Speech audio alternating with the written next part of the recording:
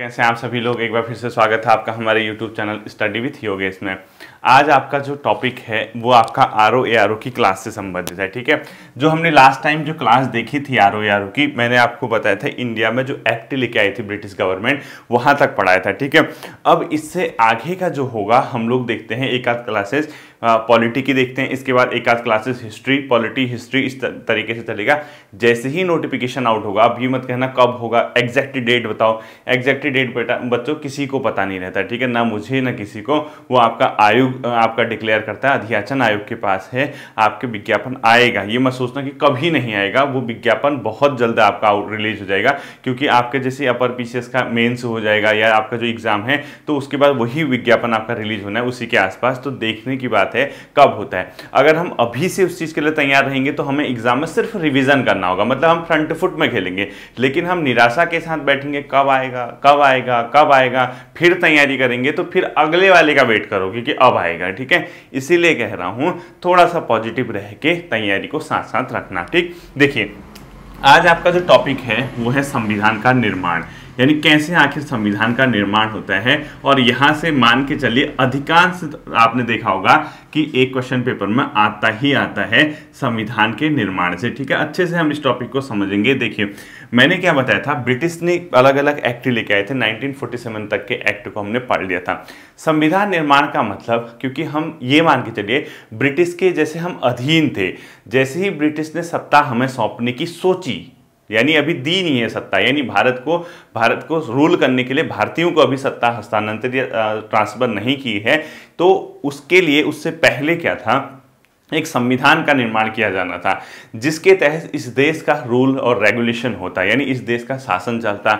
कौन रूल करता, किस तरीके से शासन होता, किस तरीके से सिस्टम बनता, इन सब चीज़ों के लिए एक संविधान की आवश्यकता होती है। संविधान क्या है? एक मार्गदर्शक दर्शन की भूमिका निभाता है, एक दस्तावेज़ है, जो ये बताता है कि किसी देश का शासन किस प्रकार से चलेगा, शासन की प्रणाली क्या होगी, लोगों को क्या अधिकार होंगे, सरकार का गठन किस तरीके से होगा, इन सब चीज़ों की जानकारी के लिए एक दस्तावेज़ मान के चले जिसको संविधान बोला जाता है, ठीक है? अब इसका निर्माण करना था, क्योंकि भारत आज़ाद होता। तो निर्माण में हमने ये देखने की हमारे हमारे वनडे एग्ज़ाम में फैक्ट क्या आ सकते हैं? यानी मैं डेप्थ भी समझाऊँगा, आपको फैक्ट भी बताऊँगा, ठीक है? तो सबसे पहले लिखिए आप लोग, संविधान सभा, यानी संविधान का निर्माण जो किया था, वो किसके द्वारा किया गया था? ये एक संविधान सभा द्वारा किया गया था, ठीक है? संविधान सभा। यानी कोई ना कुछ लोगों की एक समिति होगी, एक सभा होगी, असेंबली होगी, उसके द्वारा इसका गठन किया गया था। यानी संविधान निर्माण किसके द्वारा किया गया था, अगर पूछता है तो संविधान सभा द्वारा। अगर कभी ये पूछता है कि भारत के संविधान का निर्माण किसके द्वारा किया गया तो संविधान का निर्माण किया गया था बच्चों, संविधान सभा के द्वारा, पहला क्वेश्चन ठीक है? दूसरा, सबसे पहले आखिर किसने ये बताया? कुछ लोग जो मिलेंगे, वो बैठेंगे, उसको कॉन्स्टिट्यूशनल असेंबली संविधान सभा बोला जाएगा। उसका एक गठन होना चाहिए मतलब किसके दिमाग में ये उपज आई कि एक संविधान सभा होनी चाहिए यार, जो इस देश के संविधान का निर्माण करे, ठीक है? तो अगला क्वेश्चन लिखना आपको। सर्वप्रथम किसके द्वारा संविधान सभा के गठन की बात की गई थी, ठीक है लिखो सर्वप्रथम पूरा लिखना आप, ठीक है? सर्वप्रथम किसके द्वारा? संविधान सभा के गठन की बात की गई थी एम एन रॉय के द्वारा, ठीक है? एम एन राय के द्वारा किया गया था, सर्वप्रथम संविधान सभा की गठन की बात की गई थी 1934 में। इसने ये कहा कि अगर हमने संविधान बनाना है तो वो संविधान एक संविधान सभा के द्वारा बनाया जाएगा, जिसमें कुछ लोग होंगे और इसका गठन करेंगे। ये लोग जो है, इसका संविधान का निर्माण करेंगे और इस सर्वप्रथम किसके दिमाग में विचार आया? एम एन रॉय के दिमाग में विचार आया नाइनटीन में, ठीक है? तो उस समय आप लोगों को पता होगा, इंडियन नेशनल कांग्रेस इस देश की एक महत्वपूर्ण, एक प्रकार की राजनीतिक पार्टी हुआ करती थी, यानी इंडियन नेशनल कांग्रेस जिसका गठन 1885 में हुआ था दिसंबर, उसने भी ये कहा था, औपचारिक रूप से ऑफिशियली उसने भी अनाउंसमेंट किया था कि यार हाँ एक संविधान का निर्माण करने के लिए संविधान सभा होनी चाहिए, यानी कॉन्स्टिट्यूशनल असेंबली होनी चाहिए। तो लिखो, भारतीय राष्ट्रीय कांग्रेस के द्वारा आधिकारिक रूप से, यानी इंडियन नेशनल कांग्रेस के द्वारा, भारतीय राष्ट्रीय कांग्रेस के द्वारा आधिकारिक रूप से संविधान सभा के गठन की बात कब की गई थी? ठीक है ऑफिशियली आधिकारिक रूप से, आधिकारिक रूप से संविधान सभा के गठन की बात कब की गई थी? ठीक है? यानी आधिकारिक रूप से संविधान सभा के गठन की बात। सभा के गठन की बात कब कही थी? 1935 यानी कहीं ना कहीं पहले एम एन रॉय साहब ने कहा 1934 कांग्रेस ने भी ये माना कि हाँ हमें एक संविधान सभा के गठन करना चाहिए, जो इस देश का क्या करे, संविधान का निर्माण करे। चलो, सब चीज़ ठीक हो गया। तो जब इनने कहा, इनके एक बहुत बड़े व्यक्तित्व हुआ करते थे इंडियन नेशनल कांग्रेस के, उनका नाम था जवाहरलाल नेहरू। जवाहरलाल नेहरू ने भी ये माना कि संविधान का निर्माण एक संविधान सभा करेगी, जो कि वयस्क मताधिकार के द्वारा चुनी जाएगी। तो लिखो, जवाहरलाल नेहरू के द्वारा जवाहरलाल नेहरू के द्वारा संविधान सभा के गठन की बात कही गई, द्वारा संविधान सभा के गठन की बात कही गई के गठन की बात। यानी नेहरू जी ने भी 1938 में ये मान लिया कि यार हाँ एक संविधान सभा होगी और इसका काम क्या होगा? संविधान का निर्माण। अब बात आई कि यार ये संविधान सभा जो होगी, वो किससे मिलकर बनेगी? कौन लोग होंगे? उनको कौन इलेक्ट करेगा? तो नेहरू जी ने कहा, हम एक काम करेंगे, वयस्क मताधिकार प्रणाली अपनाएँगे। वयस्क मताधिकार मतलब ऐसे व्यक्ति जो उस एज क्राइटेरिया को पार करते हो, वो वोट देंगे। वो वोट देंगे और वो संविधान सभा के लिए मेंबर चुनेंगे और वो जो मेंबर होंगे, वो क्या करेंगे? संविधान का गठन करेंगे। यानी ये ब्रैकेट में लिखो, वयस्क मताधिकार के आधार पर। वयस्क मताधिकार, यानी वयस्क मताधिकार मतलब होता है जो ऐसे व्यक्ति जो उस एज क्राइटेरिया को पार करते हैं, वो वोट दे सकते हैं। तो नेहरू जी ने भी 1938 में क्या माना कि हाँ वयस्क मताधिकार के आधार पर संविधान सभा का क्या कर सकते हैं? गठन कर सकते हैं।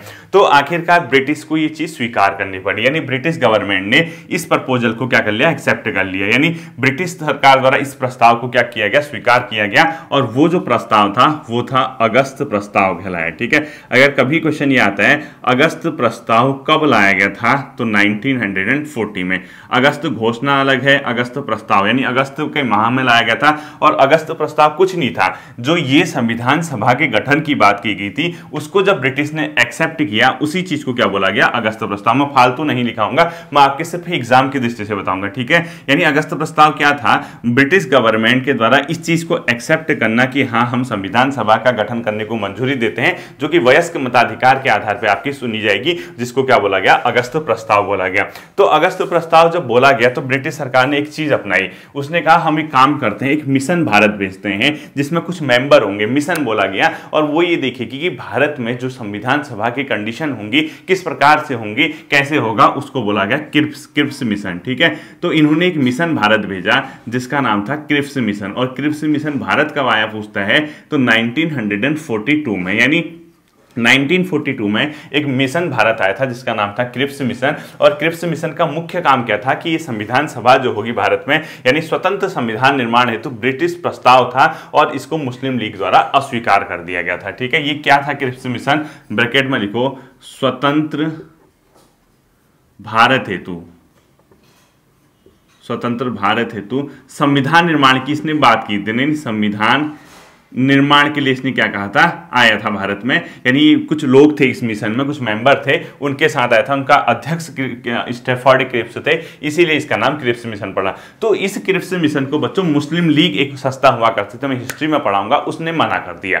दो संस्थाएँ चल रही थी पैरल एक था इंडियन नेशनल कांग्रेस, एक था मुस्लिम लीग। मुस्लिम लीग ने कहा, ना, हम इसको स्वीकार नहीं करते हैं। हम सिर्फ़ और सिर्फ़ स्वायत्त चाहते हैं दो देश। यानी उसने कहा, ये भारत एक ही ना रह के दो कंट्रियाँ बनेंगी, दो स्वतंत्र राष्ट्र बनेंगे, एक भारत होगा, एक पाकिस्तान होगा। इसीलिए हम ये नहीं चाहते कि स्वतंत्र भारत के लिए एक संविधान का निर्माण हो। इस प्रस्ताव को मुस्लिम लीग द्वारा एक्सेप्ट नहीं किया गया, मना कर दिया गया और उसने कहा, हम लोग क्या चाहते हैं? एक स्वतंत्र राष्ट्र चाहते हैं भारत से हटके। तो मुस्लिम लीग द्वारा इसको एक्सेप्ट नहीं किया गया तो ये यहीं पर डंप हो गया, ठीक है? उसके बाद ब्रिटिश सरकार ने एक मिशन भेजा भारत में, जिसको बोला गया कैबिनेट मिशन क्या बोला गया? Cabinet mission. और ये कैबिनेट मिशन जो आया, ये आया था बच्चों 1946 में भारत आया था। और इसमें जो थे, तीन सदस्य हुआ करते थे। क्या हुआ करते थे? तीन सदस्य हुआ करता थे। ये क्वेश्चन बहुत बार पूछता है आपको कि कैबिनेट मिशन में कितने सदस्य थे? तो ध्यान रखना, इस कैबिनेट मिशन के अंदर तीन सदस्य थे। और तीन सदस्य कौन कौन थे? ये क्वेश्चन भी पूछता है कि कैबिनेट मिशन के अंदर कौन कौन तीन सदस्य थे? स्टेफर्ड क्रिप्स, पैंथिक लॉरेंस और अलेक्जेंडर। ये तीन मेंबर थे जिसका अध्यक्ष था पैंथिक लॉरेंस, यानी कैबिनेट मिशन भारत कब आया पूछता है? तो 1946 में कितने सदस्य थे पूछता है? तो तीन सदस्य। उन तीन सदस्यों के अगर मैं नाम यहाँ लिखूं तो कंफ्यूज मत होना, ठीक है? यहाँ पर लिख देता हूँ, देखो, कैबिनेट मिशन के सदस्य कौन कौन थे? Pethick Lawrence. Pethick Lawrence, Stafford Cripps. ये यही आला क्रिप्स जो ऊपर मिशन लिखा है, ठीक है? Stafford Cripps. और थर्ड जो थे अपने आप में वो थे अलेक्जेंडर अलेक्जेंडर ऐसे लिख दो, ठीक है? ये तीन मेंबर इसके सदस्य तो अगर क्वेश्चन ये पूछता है कि जो कैबिनेट मिशन था, वो भारत कब आया था, आप इजीली बता दोगे। और इसने जो था, दो संविधान सभाओं के निर्माण को, की गठन की बात को स्वीकार नहीं किया। मतलब कहने का मतलब ब्रिटिश ने इसको क्यों भेजा कैबिनेट मिशन को? वो इसलिए भेजा कि वो ये देखिए कि अगर हम भारत को या इस देश को सत्ता हस्तांतरित करें, यानी इनको पावर दें तो ये संविधान सभा जो होगी, यानी जो संविधान का निर्माण होगा, वो संविधान सभा के द्वारा किया जाएगा। यानी स्वतंत्र भारत के लिए संविधान का निर्माण कैसे हो, इस चीज़ के लिए भारत आया था, ठीक है? तो इसने क्या किया? इसने कहा, दो स्वतंत्र संविधान सभाएँ बनेंगी, ऐसा नहीं होगा। जैसे मुस्लिम लीग क्या करती? ना, हमारी अलग संविधान सभा होगी। और इसने क्या कर दिया? मना कर दिया। इसने कहा, नहीं, ऐसा नहीं होगा। भाई, ब्रैकेट में लिख लो इसके, कैबिनेट मिशन के। इसने दो संविधान सभा के गठन का प्रस्ताव अस्वीकार किया। दो संविधान सभा का मतलब जो ब्रिटिश, जो मुस्लिम लीग कहती है एक हमारे लिए हो, एक भारतीयों के लिए हो तो इसने अस्वीकार कर दिया। बट इसने जो प्रस्ताव रखा, इसने जो बातें रखी कैबिनेट मिशन ने, उससे मुस्लिम लीग बहुत हद तक सेटिस्फाइड होगी। यानी वो संतुष्ट थी क्योंकि इसके कुछ पॉइंट थे, कुछ प्रपोजल थे कि ऐसा ऐसा किया जाएगा। वो कुछ हद तक स्वतंत्र होगी। अब मतलब उसने स्वीकार कर लिया। अब हमें ये नहीं पढ़ना कि इसके क्या क्या पॉइंट थे, क्या नहीं थे। वो आपका बहुत डेप्थ हो जाएगा, इतना नहीं। जब कैबिनेट मिशन में प्रॉपरली हिस्ट्री के अंदर टॉपिक आएगा, तब कैबिनेट मिशन आपको समझाया जाएगा। ठीक है?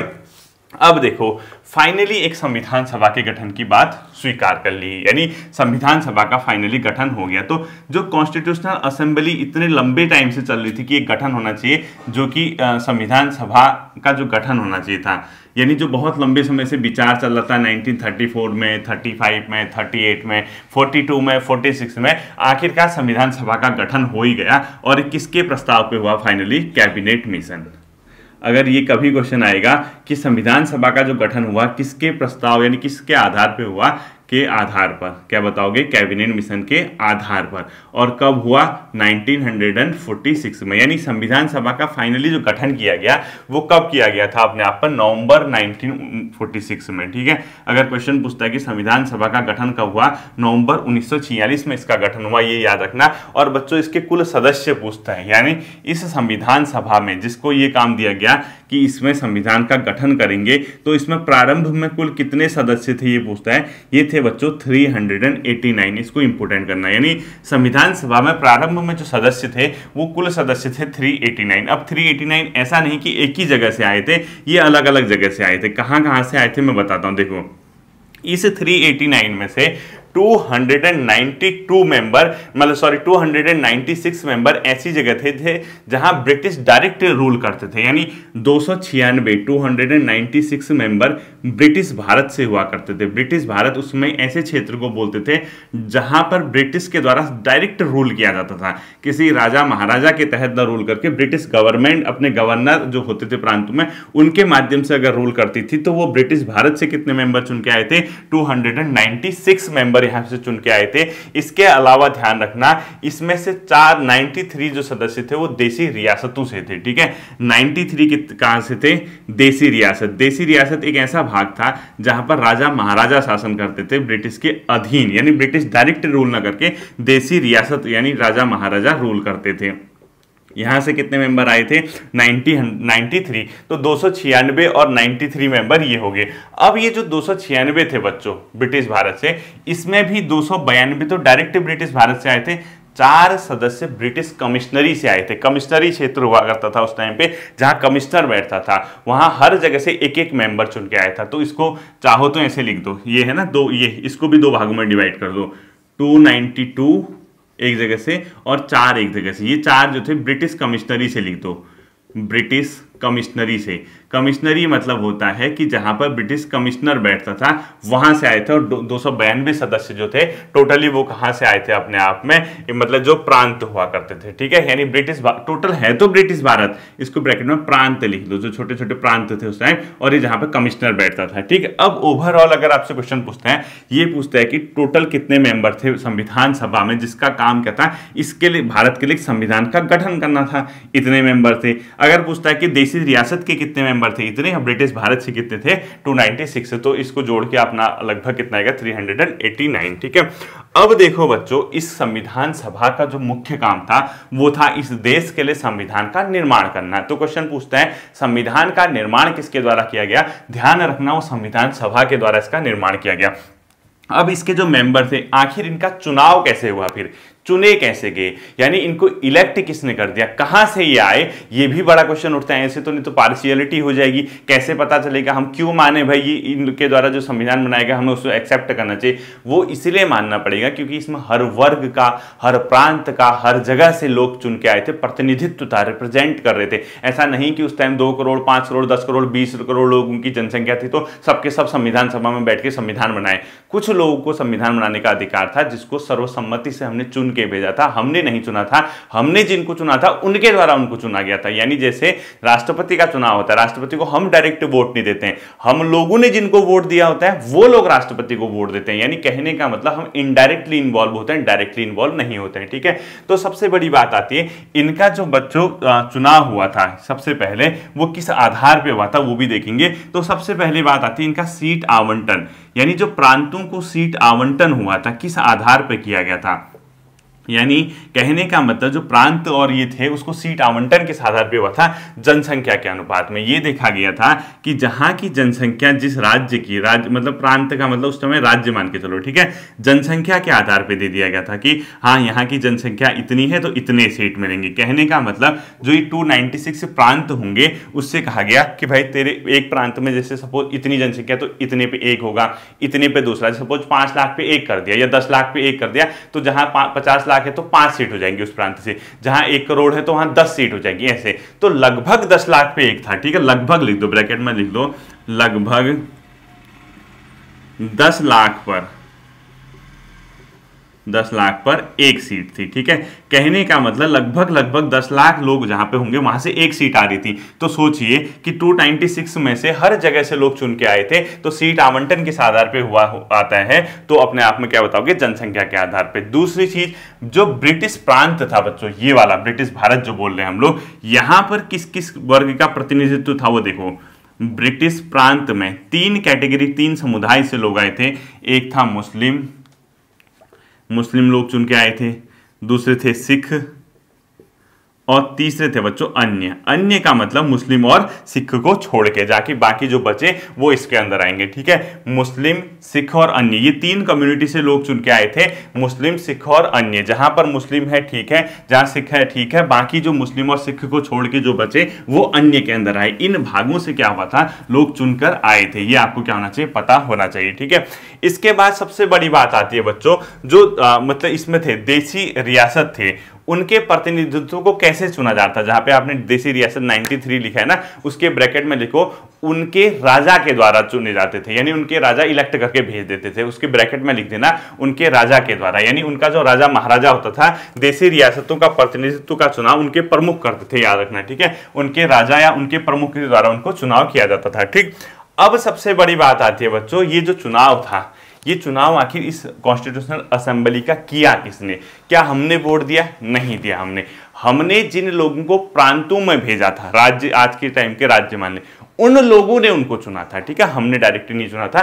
किस सिस्टम से हुआ था? वो एकल संक्रमणी, मत प्रणाली अनुपातिक यानी जो सिंगल ट्रांसपेरेंट वोट सिस्टम होता है, जो ये प्रोपोर्शनल वोट सिस्टम होता है, उसके आधार पर चुना था। वो यहाँ नहीं लिखना है। वो जब आपका पेपर में जब ये सिस्टम आएगा, वो मैं आपको उस समय क्या करूँगा? पढ़ाऊँगा, ठीक है? अब देखना क्या सबने वोट दिया, नहीं दिया।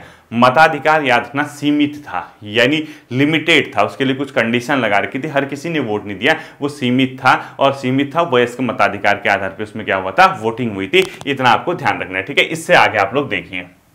तो मताधिकार लिखिए सीमित था। कभी अगर पूछता है कि संविधान सभा के लिए जो वोटिंग हुई थी, क्या हर किसी ने की? आप बताओगे, नहीं जी, हर किसी ने नहीं की। मताधिकार जो था लिमिटेड था, ठीक है? सीमित हुआ करती थी मताधिकार। दूसरा जो चुनाव था क्या डायरेक्ट था? नहीं। आप बोलोगे इनडायरेक्ट था यानी अप्रत्यक्ष। अप्रत्यक्ष का मतलब जहाँ जनता डायरेक्ट वोट नहीं देगी जनता ने जिनको चुना होगा वो लोग उनको चुनेंगे। यानी डायरेक्ट जन, जनता इन्वॉल्व नहीं होगी इसको इनडायरेक्ट बोलते हैं ठीक है? और चुनाव जो था किस प्रकार से हुआ था, क्या कंप्लीटली सारे लोग इलेक्ट हुए थे? आप बोलोगे नहीं, सब इलेक्ट नहीं हुए थे।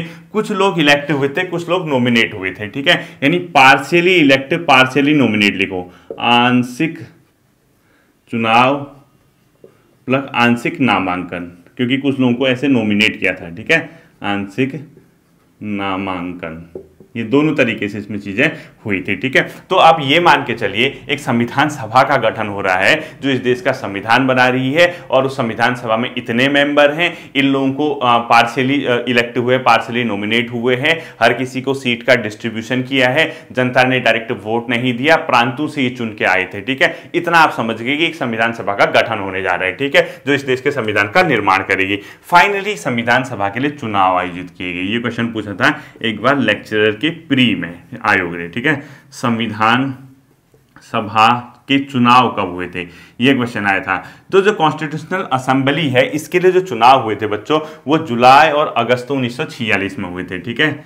जुलाई, अगस्त 1946 में हमारे कॉन्स्टिट्यूशनल असेंबली के लिए क्या हुए थे? इलेक्शन हुए थे। और ये जो इलेक्शन हुए थे, कितने सीट पे हुए थे? 296 सीट पे, जो मैंने अभी डिस्ट्रीब्यूशन बताया, ऊपर देखो, जहाँ दो क्योंकि बाकी 93 तो देसी रियासतों से हो रहे थे। देसी रियासत तो क्या, उनके जो प्रतिनिधि थे, उनके जो राजा महाराजा थे, वो उनको चुन के भेजते थे, उनके लिए इलेक्शन नहीं हुआ। सिर्फ़ कितने सीट पे हुआ? दो अब जब चुनाव हुआ तो इसमें जो पार्टी बनी, सबसे ज़्यादा बड़ी पार्टी बनी इंडियन नेशनल कांग्रेस उसको मिले इसमें दो सौ आठ सीट ठीक है? ऐसे देखो, भारतीय राष्ट्रीय कांग्रेस को इसमें मिली दो सौ आठ सीट ये भी क्वेश्चन पूछता है कि भारतीय राष्ट्रीय कांग्रेस ने जो चुनाव हुए तो संविधान सभा के लिए, उसमें कितनी सीटें जीती? मुस्लिम लीग ने जीती, बच्चों इसमें सेवेंटी थ्री सीटें, ठीक है? मुस्लिम लीग ने जीती सेवेंटी थ्री। और अदर अन्य ने जीती पंद्रह सीटें। यानी कि इस सीट का डिस्ट्रीब्यूशन इस प्रकार से हुआ कि किसको कितनी सीटें मिली संविधान सभा के चुनाव में, ठीक है? देसी रियासत जो थे, उस समय जो 93 सीट मैंने बताई थी, वो भर नहीं पाई संविधान सभा में। वो सारे के सारे 93 फिल नहीं हुए क्योंकि कई देसी राजाओं ने या महाराजाओं ने शामिल होने से ही मना कर दिया। उसने कहा, ना, हम हमें नहीं होना है शामिल, ठीक है? आपके संविधान सभा में हमें होना ही नहीं आपके साथ हमने रहना ही नहीं है। ये कब कहा?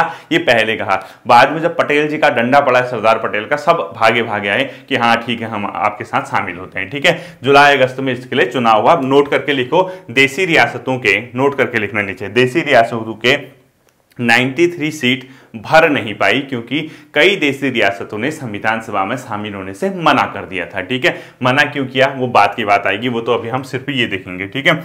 अगला, इसके बाद ये देखना, महात्मा गांधी। नोट करके लिखो। वहाँ पर दो शख्सियत थी, एक तो महात्मा गांधी जी थे, प्लस मोहम्मद अली जिन्ना। मोहम्मद अली जिन्ना, ऐसे शॉर्ट में लिखते हैं, ठीक है? इन्होंने संविधान सभा में भाग नहीं लिया, संविधान सभा के सदस्य नहीं थे ये, ठीक है? ध्यान रखना है कभी क्वेश्चन पूछता है कि इनमें कौन संविधान सभा सदस्य नहीं था। कभी इन बड़े ही नाम आते हैं, ठीक है? मतलब गांधी जी और ये जो है संविधान सभा, यानी कॉन्स्टिट्यूशनल असेंबली के मेंबर नहीं थे, ये ध्यान रखना। दूसरा, सभा में लगभग सभी वर्ग का प्रतिनिधित्व था। सेकेंड लिखो, इसमें जो संविधान सभा थी, यानी कॉन्स्टिट्यूशनल असेंबली इसमें सभी वर्ग थे, बच्चों, ठीक है? हर किसी कम्युनिटी से लोग आए थे, सभी वर्ग का प्रतिनिधित्व। अब आप कहोगे, सभी वर्ग का प्रतिनिधित्व मतलब समझे नहीं सर हम। इसमें देखो, सभी वर्ग का प्रतिनिधित्व मतलब इंडियन नेशनल कांग्रेस थी मुस्लिम लीग थी सिख थे मुस्लिम थे हिंदू थे, और इसके अलावा भारतीय ईसाई थे एंग्लो इंडियन थे एससी थे एसटी थे, महिलाएँ थी, हर किसी वर्ग को रिप्रेजेंटेशन मिला था। तो याद रखना इसको, ये पॉइंट लिखने को आता आपका, या सही है गलत है, सभी वर्ग का प्रतिनिधित्व था या नहीं था? बिल्कुल था इसमें, ठीक है? हर कोई, तभी तो इस देश के संविधान को एक्सेप्ट किया गया सबके द्वारा, वरना क्यों करते बताओ? एक ही टाइप के लोग बनाते तो दूसरा क्यों उसको एक्सेप्ट करता। ठीक है, इसलिए आपको ध्यान रखना। उसके बाद हुआ संविधान सभा की पहली बैठक लिखो। मोस्ट इंपोर्टेंट कर देना संविधान सभा की पहली बैठक, जब इलेक्शन हो गया तो वो बैठने आए, उनकी बैठक हुई। चुनाव उसके बाद, ठीक है? ये हुई थी बच्चों 9 दिसंबर उन्नीस सौ छियालीस को। कब हुई थी? 9 दिसंबर उन्नीस सौ छियालीस को। मुस्लिम लीग को ये लगा कि हमारी सीट कम है भाई, इसमें हमारी चलेगी या नहीं चलेगी, उसने बहिष्कार करना शुरू कर दिया। उसने कहा, ना, हमें नहीं बैठना है भाई तुम्हारी संविधान सभा में। उसने क्या कर दिया? ब्रैकेट में लिखो, मुस्लिम लीग द्वारा बहिष्कार। यानी वो नहीं बैठे इसमें, ठीक है? क्यों क्योंकि उनको पता चल गया था कि यार हमारे तो नंबर ऑफ़ सीट कम हो रही है, हमारी चलती नहीं चलती संविधान में। उनको इस प्रकार से कुछ लोग अपनी राजनीतिक रोटी सेकने के लिए अलग राष्ट्र की मांग करते रहे रहते ठीक है? उसके बाद जो इसकी पहली बैठक हुई, इसमें जो हिस्सा लिया, यानी पार्टिसिपेट किया, वो किया था 211 सदस्यों ने। 211 मेंबर इसमें पहली बैठक में क्या हुए थे? शामिल हुए थे। और इसके जो अध्यक्ष थे, जिसको अस्थाई अध्यक्ष बोलते हैं, यानी परमानेंट नहीं, ठीक है? इसके अस्थाई जो अध्यक्ष थे, इस जिसमें इसके चेयरपर्सन थे जो, वो थे सचिदानंद सिन्हा जी, ठीक है? सच्चिदानंद सच्ची कर दो सच्चिदानंद, आधा चौ फिर पूरा चौ ठीक है? सच्चिदानंद सिन्हा जी इसके क्या थे बच्चों, अपने आप में? पहले अपने आप में अस्थाई अध्यक्ष हुआ करते थे, जो कि इसके सबसे वरिष्ठ यानी सबसे अपने आप में जो सीनियर पर्सन थे, वही थे, ठीक है? उसके बाद इसका परमानेंट पहली स्थायी अध्यक्ष मिलते हैं, यानी संविधान सभा के परमानेंट यानी पहले जो स्थायी अध्यक्ष बने थे, जो चुन के आए थे उनमें से, वो बने थे राजेंद्र प्रसाद जी। अगर क्वेश्चन ये पूछता है कि संविधान सभा के स्थायी अध्यक्ष कौन थे? राजेंद्र प्रसाद जी इसके कहते हैं अपने आप में, स्थायी अध्यक्ष थे, ठीक है? और जो कि कब सीट संभाली उन्होंने? गद्दी, दो दिन बाद 11 दिसंबर 1946 को इन्होंने क्या संभाली? कमान संभाली, ठीक है? इसके उपाध्यक्ष कौन थे? क्वेश्चन आता है कि संविधान सभा के जो उपाध्यक्ष थे, ठीक है? उपाध्यक्ष उपाध्यक्ष कौन थे? संविधान सभा के, वो थे बच्चों एच सी मुखर्जी, ठीक है? ये भी आता क्वेश्चन में। संविधान सभा के उपाध्यक्ष कौन थे? एच सी मुखर्जी, ये भी ध्यान रखना है, ठीक है? और उपाध्यक्ष आपने ध्यान रख ही लिया तो एक और बहुत इंपॉर्टेंट चीज़ आपको ध्यान रखनी है, वो ये रखनी कि इनके संवैधानिक सलाहकार कॉन्स्टिट्यूशनल जो एडवाइजर थे एडवाइस जो देते थे, संवैधानिक सलाहकार बी एन राव लिखो, कौन थे? B N Rao. B N Rao क्या थे? इसके संवैधानिक सलाहकार हुआ करते थे। ये बहुत इंपॉर्टेंट क्वेश्चन है, ठीक है? अब जब हुआ, जब संविधान सभा के ये मेंबर आए, एक बहुत महत्वपूर्ण चीज़ संविधान सभा में प्रस्तुत की गई। उसको बोला गया उद्देश्य प्रस्ताव। उद्देश्य प्रस्ताव ये बताता है कि इस संविधान सभा के गठन के बाद इस देश का क्या उद्देश्य रहेगा? संविधान का क्या उद्देश्य रहेगा? हम क्यों बैठे हैं? हम क्या चाह रहे हैं? और वो, उसको बोला गया उद्देश्य प्रस्ताव। और इसकी डेट सहित आपके क्वेश्चन पेपर में आता है कि उद्देश्य प्रस्ताव संविधान सभा में कब प्रस्तुत किया गया? ये किया गया था तेरह दिसंबर 1946 को ठीक है? तेरह दिसंबर 1946 को किसके द्वारा जे एल नेहरू जी के द्वारा, यानी जवाहरलाल नेहरू के द्वारा जो 13 दिसंबर 1946 को संविधान सभा में क्या प्रस्तुत किया गया था? उद्देश्य प्रस्ताव किया गया था, पेश किया गया था मोस्ट इंपोर्टेंट क्वेश्चन है, ठीक है? अब उद्देश्य प्रस्ताव के क्या क्या बिंदु थे बच्चों? वो आपको यहाँ पढ़ने की ज़रूरत नहीं है, क्योंकि इसमें यही था कि भारत एक गणतंत्र होगा, संप्रभु राष्ट्र होगा सोवरेंट होगा, उसकी अपनी जो शक्ति होगी, उसकी जनता होगी सोर्स जो होगा, उसकी पावर की उसकी जनता होगी, यानी हर काम, हर शक्ति जो इस देश के संविधान को मिल रही है, उसका मेन सोर्सेज की जनता होगी, अंतर्राष्ट्रीय शांति की बात की, मानव अधिकारों की बात की, इस देश में जो लोग रह रहे हैं, जो इस देश में रहेंगे, उनके लिए सामाजिक, आर्थिक, राजनीतिक न्याय की बात कही गई। सभी को धर्म, उपासना और ये सब चीज़ों की स्वतंत्रता की बात कही गई। विचार करने की स्वतंत्रता होगी, घूमने की स्वतंत्रता होगी, यानी बहुत से प्रस्ताव इसके अंदर लाए गए थे। और वो जो उद्देश्य प्रस्ताव था, बाद में उसमें कुछ पॉइंट आगे पीछे करके आपने कॉन्स्टिट्यूशन का प्रियम्बल सुना होगा। हम भारत के लोग भारत को एक संप्रभु स्वतंत्र गणराज्य वाला सुना होगा ना आपने? सिक्स सेवंथ की बुक में भी लिखा होता प्रियम्बल वो वही प्रियम्बल जो था, वो ये उद्देश्य प्रस्ताव का ही एक प्रकार का थोड़ा सा चेंज करके जो मेन रूप आया, वो संविधान में प्रियम्बल के रूप में देखने को मिलता है। यानी एक प्रकार का जो प्रस्तावना है संविधान की, वो यही उद्देश्य प्रस्ताव को आगे जाके प्रियम्बल बोला गया, उसमें कुछ चेंजेस हुए थे। तो उद्देश्य प्रस्ताव किसके द्वारा पेश किया गया? नेहरू जी के द्वारा। और कब किया गया था? तेरह दिसंबर उन्नीस को, ठीक है? इसमें एक आया था कि हम लोग एक भारतीय संघ बनाएँगे, भारतीय जो यूनियन होगा, उसमें ब्रिटिश भारत के सभी क्षेत्र होंगे, भारत के सभी राज्य होंगे और ऐसे भाग भी शामिल होंगे जो इसमें शामिल होना चाहता है, ठीक है? इसके अलावा इसमें बोला गया था, हमारी शक्ति का स्रोत कौन होगा? भारत की जनता होगी। सभी को सामाजिक, आर्थिक, राजनीतिक न्याय मिलेगा, अवसर की समानता मिलेगी, कानून के समक्ष सब समान होंगे, विचार एवं अभिव्यक्ति की स्वतंत्रता होगी, भ्रमण घूमने की स्वतंत्रता होगी, आप यूनियन संगठन बना सकते हैं। इसके अलावा जो अल्पसंख्यक होंगे माइनॉरिटी होंगे या पिछड़े वर्ग होंगे या जो जनजाति क्षेत्र होंगे, उन लोगों को सुरक्षा दी जाएगी, संघ की एकता होगी, विश्व शांति की बात होगी, मानव कल्याण की बात होगी, ये सब इसमें लाया गया था। तो उसके बाद जब संविधान सभा में उद्देश्य प्रस्ताव लाया तो उसको स्वीकार कब किया गया था? 22 जनवरी उन्नीस सौ सैंतालीस को लिखो। मोस्ट इंपोर्टेंट कर देना, उद्देश्य प्रस्ताव को कब स्वीकार किया गया था? एक्सेप्ट ठीक है? 22 जनवरी उन्नीस सौ छियालीस को, सैंतालीस को संविधान की सभा के द्वारा इसको क्या किया गया था? एक्सेप्ट किया गया था कि हाँ हम इस संविधान सभा में इस उद्देश्य प्रस्ताव को स्वीकार कर रहे हैं और इसके जो की पॉइंट है फीचर है मैंने आपको बता दिया, ठीक है? अब जब ये आया, मैंने आपको एक चीज़ बताई थी बच्चों, जो उन्नीस सौ सैंतालीस का एक्ट है, याद होगा आपको 1947 का, वो इसके बाद आया, क्योंकि संविधान सभा तो पहले बैठ गई है एक्ट बाद में आया एक्ट जब आया एक्ट की वजह से इसमें कुछ चेंजेज हो गए थे, किसमें? जो ये टोटल आप सिस्टम देख रहे हो, उसमें कुछ चेंज हो गए थे, ठीक है? उसमें क्या चेंज हुए थे? एक तो देसी रियासतें शामिल होगी जो मना कर रही थी। इसके अलावा संविधान सभा से कहा गया, तुम ही क्या हो अपने आप में संसद हो? यानी तुम इस देश की पहली विधायिका हो। यानी जब तक इस देश में चुनाव होकर प्रॉपर संसद का गठन नहीं हो जाता, तुम इस देश के क्या करोगी? संसद का भी काम करोगी, इस देश के लिए कानून बनाने का काम करोगी, साथ ही साथ अपने संविधान का निर्माण भी करते रहोगे। यानी मैंने आपको पढ़ा है 1947 का एक्ट संविधान सभा इस देश की पहली संसद भी थी। या मैंने अगर आपको पढ़ा है, अगर आपको याद होगा। क्यों? क्योंकि उसके दो काम हो गए थे। एक तो ये कहा था जब तक प्रॉपरली संसद का गठन नहीं हो जाता चुनाव होगी तब तक आप कानून बनाओ इस देश के लिए। दूसरा साथ साथ ही आप क्या करो आ, मतलब जो इस देश का संविधान है उसका निर्माण भी करो ठीक है? यानी कहीं ना कहीं जब विधायिका के रूप में काम कर रही थी वो लेजिस्लेचर के रूप में काम कर रही थी तब संविधान सभा के अध्यक्ष जी बी मावलंकर हुआ करते थे। जब वो संविधान निर्माण के लिए कार्य कर रही थी तब उसके अध्यक्ष राजेंद्र प्रसाद हुआ करते थे ठीक है? तो नोट करके एक पॉइंट लिखो संविधान सभा ने संविधान सभा ने संसद के गठन तक, नोट करके लिखना, संविधान सभा ने संसद के गठन तक विधायिका यानी अपने आप में पार्लियामेंट लिख दो, ब्रैकेट में, जो भी है, यानी आप समझ जाओगे लेजिस्लेचर ठीक है? वह संविधान सभा दोनों के रूप में काम किया। विधायिका के रूप में इसके अध्यक्ष जी वी मावलंकर थे, ठीक है? जी वी मावलंकर थे, जबकि संविधान सभा के रूप में इसके अध्यक्ष राजेंद्र प्रसाद थे, यानी पैरेलल दोनों काम ये अपने आप में कर रहे थे, ठीक है? अब जैसे इस पर एक्ट पास हुआ। बाद में कितने सदस्य हो गए, लिखो। एक क्वेश्चन लिखो। स्वतंत्रता अधिनियम 1947 के बाद के बाद संविधान सभा में सदस्य।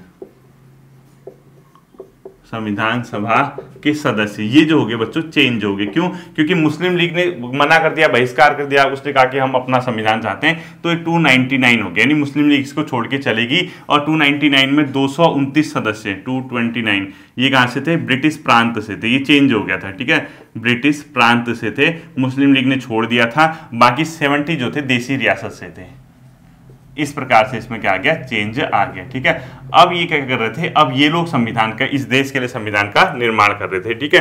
फाइनली जब ये सब चीज़ निर्माण वगैरह किया कि इसने, उसके बाद क्या हुआ? इस देश के संविधान का निर्माण हुआ। फाइनली उसमें ये लोग बचे। अगर क्वेश्चन ये पूछता है, मुस्लिम लीग के पृथक होने के बाद संविधान सभा में कितने सदस्य बचे? यह क्वेश्चन ये पूछता है, स्वतंत्रता एक्ट उन्नीस सौ सैंतालीस के बाद, पास होने के बाद संविधान सभा में कितने सदस्य बने? 299 सदस्य बने, ठीक है? अगला पॉइंट लिखो, संविधान सभा के कुछ अन्य कार्य। क्या लिखोगे? संविधान सभा के कुछ अन्य कार्य, यानी उसके अदर क्या कुछ वर्क थे? जैसे, इसने क्या किया? राष्ट्रीय ध्वज को कब अपनाया? लिखो, संविधान सभा ने राष्ट्रीय ध्वज अपनाया। बहुत इंपॉर्टेंट क्वेश्चन है। संविधान सभा में हमारा नेशनल फ्लैग जो है, वो राष्ट्रीय ध्वज कब अपनाया? ये पेपर में आता है क्वेश्चन में, ठीक है? जो राष्ट्रीय ध्वज को अपनाया था, वो अपनाया था अपने आप में 22 जुलाई उन्नीस सौ सैंतालीस को, ठीक है? तो लिखो 22 जुलाई उन्नीस 22 जुलाई उन्नीस सैंतालीस को क्या किया था? संविधान सभा ने इस देश के राष्ट्रीय ध्वज को क्या किया था? अपनाया था। इसके अलावा लिखो, राष्ट्रीय गान को कब अपनाया था? 24 जनवरी 1950 को लिखो। राष्ट्रीय गान अपनाया था। राष्ट्रीय गान प्लस राष्ट्रीय गीत लिख दो। राष्ट्रीय गीत को कब अपनाया था? क्वेश्चन आपका ये रहेगा होमवर्क ठीक है? दोनों के आंसर देना ऑप्शन बता देता हूँ। 24 जनवरी उन्नीस सौ उनपचास, चौबीस जनवरी उन्नीस सौ पचास, छब्बीस जनवरी उन्नीस सौ उनपचास, छब्बीस जनवरी उन्नीस सौ पचास, ठीक है? चार विकल्प हैं, ये पता चल जाएगा कि कितने इंटरेस्ट से देखते हो या पढ़ाने का कुछ फ़ायदा है नहीं। संविधान सभा ने राष्ट्रीय गान व राष्ट्रीय गीत को कब अपनाया था, ये आपका क्वेश्चन मार्क रह गया, ये आपको आना चाहिए, ठीक है? और इसके, उसके बाद क्या थे? पहले राष्ट्रपति राजेंद्र प्रसाद जी चौबीस जनवरी उन्नीस सौ पचास को बने थे, ठीक है? तो अब इस टोटल संविधान जो सभा थी, उसको संविधान निर्माण में समय कितना लगा? लिखो। संविधान निर्माण में समय। में समय। ग्यारह माह, लिखो मतलब सॉरी मतलब जो संविधान निर्माण में टोटल समय लगा, दो वर्ष ग्यारह माह अट्ठारह दिन लगे, ठीक है? लिखो, दो वर्ष ग्यारह माह अट्ठारह दिन। इतना समय लगा था इस संविधान को निर्माण करने में, दो वर्ष ग्यारह माह, अठारह दिन, और कुल इसकी जो हुई, ग्यारह बैठक कब हुई और अंतिम बैठक चौबीस जनवरी 1950 को हुई, ठीक है? कुल बैठक लिखो इसकी, संविधान सभा की कुल बैठक। कुल बैठक, ग्यारह बैठक हुई, ठीक है? अंतिम बैठक लिखो, किस दिन ये अंतिम बैठक हुई इनकी? ये हुई बच्चों 24 जनवरी 1950 को 24 जनवरी 1950 को, और उसके दो दिन बाद लागू कर दिया गया, संविधान लागू लिखो। संविधान लागू लिखो 26 जनवरी 1950 को, ठीक है? इस पूरी कहानी में आपके एक दो फैक्ट एग्ज़ाम में आ ही जाते हैं। इस चीज़ को आप लोग क्या करोगे? ध्यान में रखोगे, ठीक है? होपफुली ये जो चीज़ है आपकी समझ आई होंगी। आप इसको रिवाइज करना और होमवर्क के रूप में लुसेंट से भी इस टॉपिक को बहुत अच्छे से अपना, आप लोग क्या कर लेना प्रिपेयर कर लेना ताकि आपके एग्ज़ाम में क्वेश्चन गलत ना हो। फिर मिलते हैं अगले सेशन पर अपना ध्यान रखिएगा। Thank you